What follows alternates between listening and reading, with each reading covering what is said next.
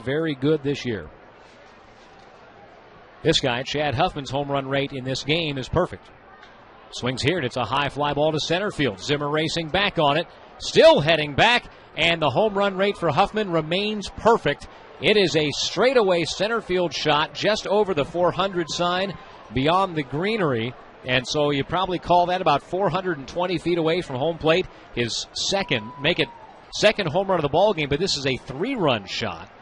And so Haviland, who has been very, very good against every team not named the Toledo Mud Hens, finds himself already trailing this game by a six to nothing count.